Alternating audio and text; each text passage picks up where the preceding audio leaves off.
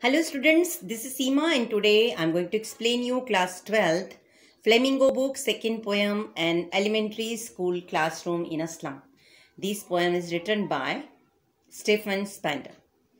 Before explaining this poem, I'm going to say you something about the poet and about the theme of the poem.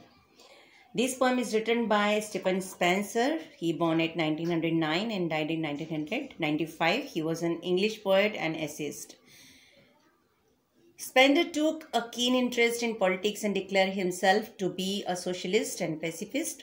Book by Spencer include poem Dedication, The Age of Being, The Creative Element, The Struggle of Modern and an autobiography.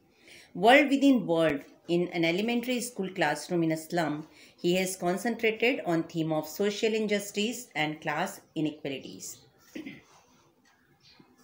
So, the theme of this poem is proclaimed as a socialist and a pacifist.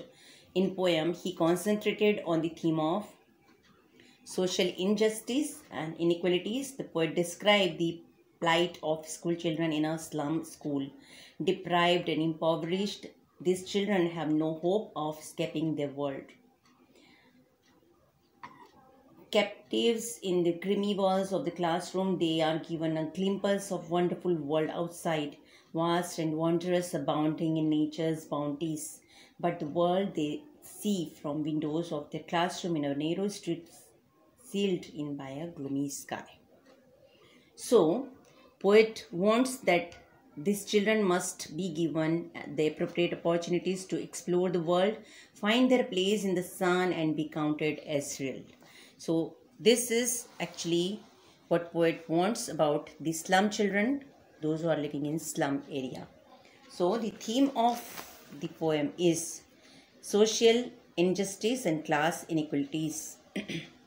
इस poem में poet बताते हैं कि कितना injustice होता है उन बच्चों के साथ जो स्लम एरिया में रहते हैं और उनके साथ कितनी इनक्वलिटीज़ है इन बच्चों के पास कोई अवसर नहीं होता वे काम के बोझ के तले दबे हुए होते हैं और पोएट हमें उन बच्चों की स्थिति से अवगत कराना चाहते हैं जो उनकी स्थिति है। और वे अपील करते हैं कि इन बच्चों के लिए हमें कुछ करना चाहिए जिससे वे इस स्थिति से बाहर आ सकें। So let's begin poem line by line and give you difficult words meanings too so let's begin the poem far far from gusty waves this children faces like rootless weeds, the hair torn round their pallor. The tall girl with her weighed down head, the paper seeming boy with red eyes, the stunned, unlucky hair of twisted bone reciting a father's gnarled disease.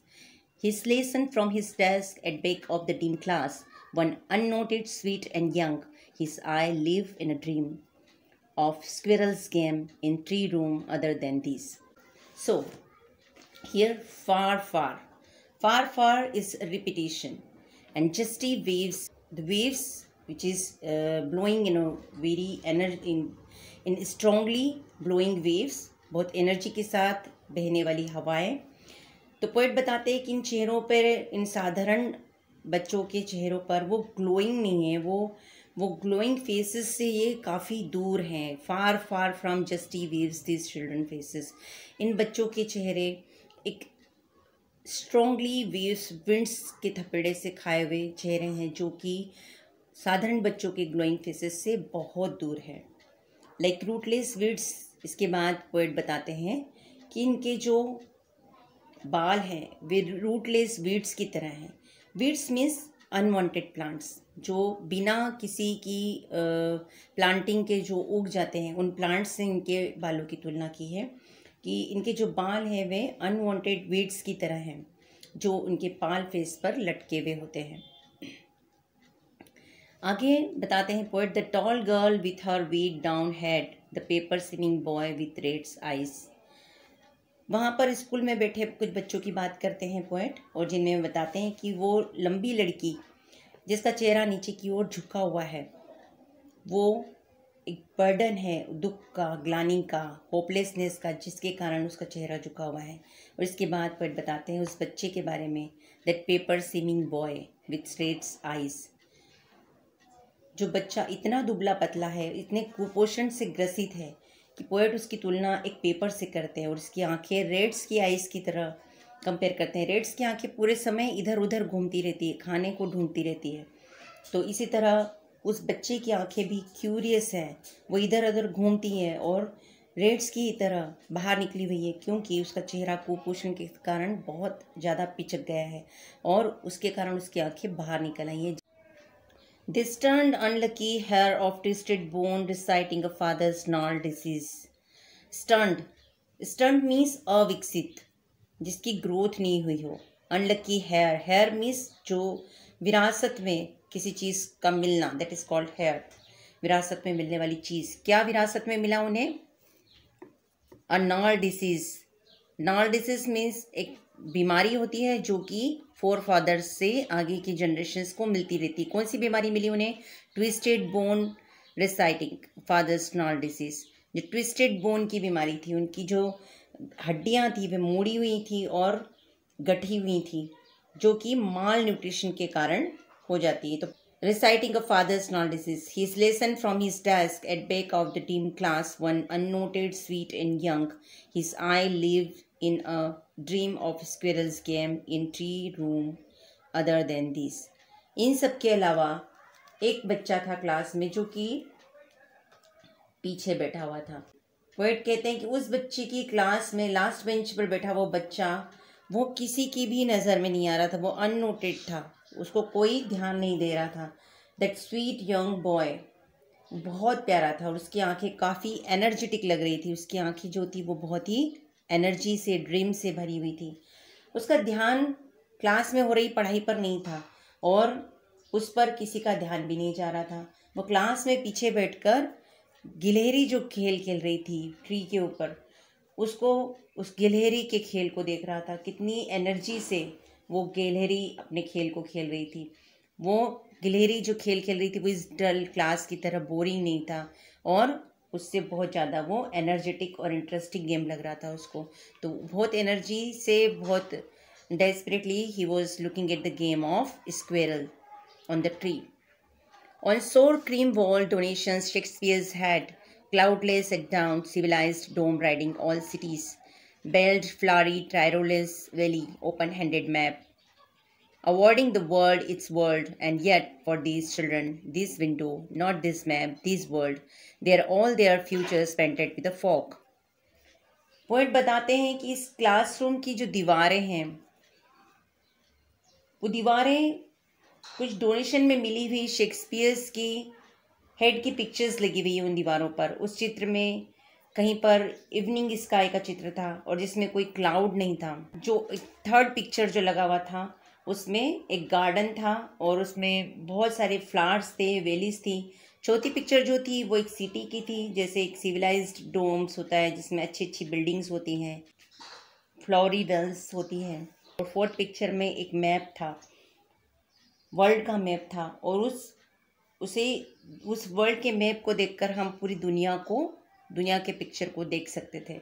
इसके बाद poet बताते कि इन बच्चों के लिए उस map का कोई मतलब नहीं है, क्योंकि इनके लिए जो उनकी असली दुनिया है वो तो एक खिड़की है।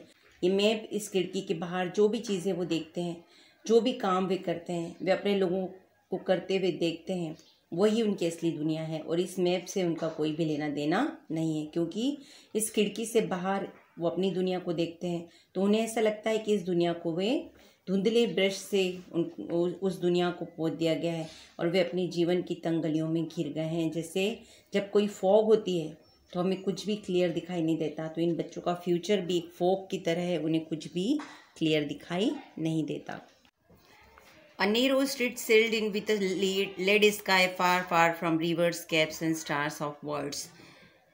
वो पतली तंग गलियाँ जो कि पूरी तरह से सील कर दी गई हैं, उससे बाहर वे कभी एक ओपन स्काई को कभी नहीं देख सकते। वो ओपन स्काई जो कि लेड से भरा हुआ है, जो फॉक से भरा हुआ है। खुली नदियाँ, वे कैप्स और स्टार्स उन सबको इनके लिए सील कर दिया गया है। वे इनसे कभी बाहर सितारों को इन कैप्स को कभी नहीं देख पाते। वे इनसे काफ़ी दूर हैं।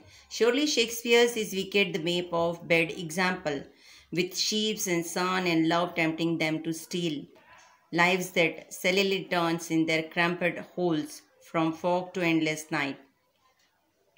इसके बाद पोएट कहते हैं कि शेक्सपियर विकेड है। विकेड मीन्स बहुत ही बुरा है। विकेड मीन्स बहुत बुरा।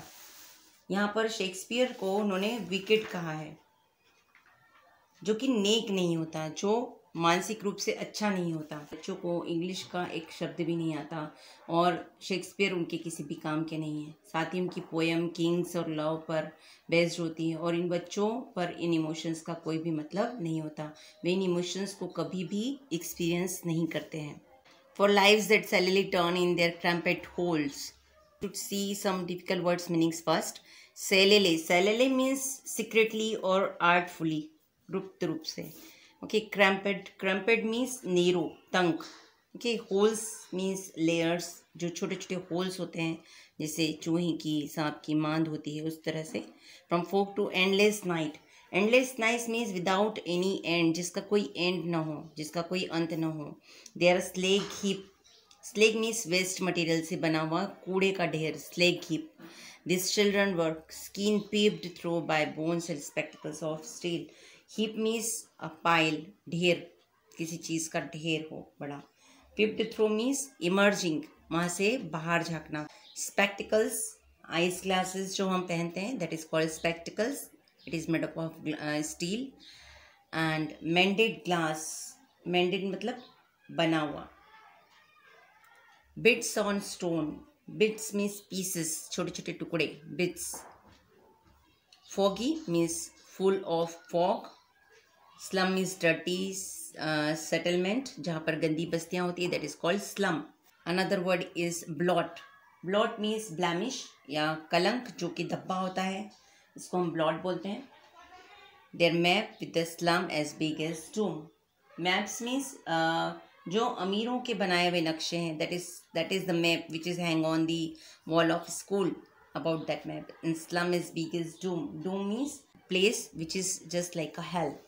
So now let's see the meaning of this paragraph. Here, poet is saying, यहाँ पर जो मैप दिया गया है वॉल के ऊपर जो मैप दिखाया गया था, जिसमें बड़ी बड़ी बिल्डिंग्स थी और फ्लारी हिल्स थे, और जहाँ पर शेक्सपियर ने अपनी पोइट्री और उनके नॉवेल्स को एक्सपोज किया हुआ था, जिनमें उसने अपने लव और किंग्स के बारे में बेस्ट जो पोएम्स उसने छाप रखी थी वहाँ पर, उन सब चीज़ों को देखने के लिए वे बाहर की चीज़ों को देखने के लिए बहुत एनर्जी से उन चीज़ों को देखते हैं जो लव और पीसफुल इन्वायरमेंट उन्हें अट्रैक्ट करता है, वो टेम्पटिंग करता है, उसको वो स्टील करना चाहते हैं। उसको वो चोरी करने के लिए उसको वो अट्रैक्ट करती हैं सारी चीज़ें। और इनकी लाइफ बहुत सीक्रेटली बहुत सेलेली इनके सीक्रेट्स होल्ड क्रैप्ट हो जाते हैं टर्न हो जाते हैं और उनकी दुनिया कभी कभी बदल जाती है। Fog to endless night On their slag heap, their children were skin pipped through by bones and spectacles to still with mended glass like bottle bits on stones.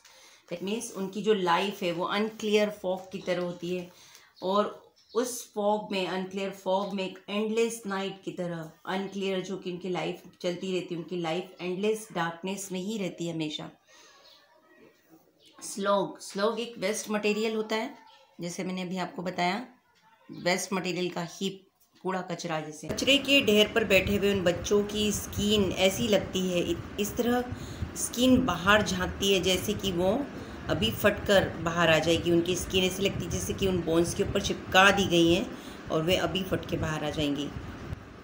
और उन्होंने जो स्टील के बड़े बड़े चश्मे पहन रखे हैं मैंडेड ग्लास के, वो ऐसे लगते हैं जैसे पत्थर पर टूटे हुए ग्लास हों। जो बॉटल्स के टूटे हुए कांच हो, इस तरह से वे चश्मे मोटे मोटे चश्मे स्टील के पहने हुए रहते हैं, जो कि बहुत ही अनकम्फर्टेबल हैं। और उनका पूरा समय इस नरकदार, कोहरेदार, गंदी बस्तियों में घूमता रहता है, इस फोगी इस्लाम एरिया में घूमता रहता है।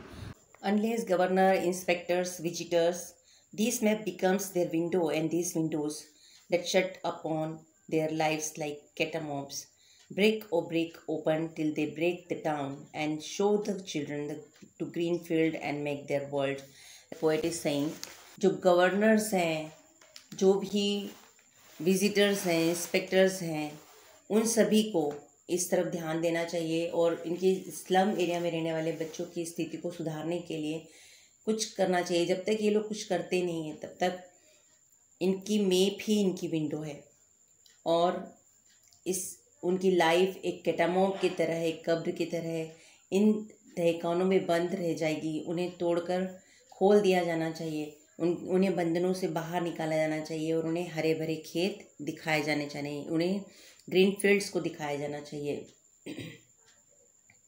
And show the children to green fields and make their world run azure on gold sand and let their tongues run necked into book the white green leaves open history, their host language is the sun. उन्हें open fields में छोड़ दिया जाना चाहिए, उन्हें हरे भरे मैदानों को देखने दिया जाना चाहिए, उन्हें इस्लाम की दुनिया से निकाल कर।